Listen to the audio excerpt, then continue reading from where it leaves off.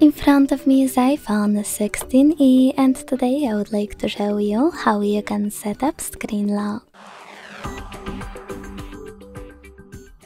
Begin by opening settings and scrolling to tap on Face ID and passcode. Then scroll again to tap on Turn passcode on, hit passcode options and select one of those by clicking on the best one for you. Now create your passcode. And if you see this kind of pop-up, tap on change passcode and pick a different one because yours is too easy. This is just an example though, so I will go with yours anyway. Following that, repeat your passcode to confirm it.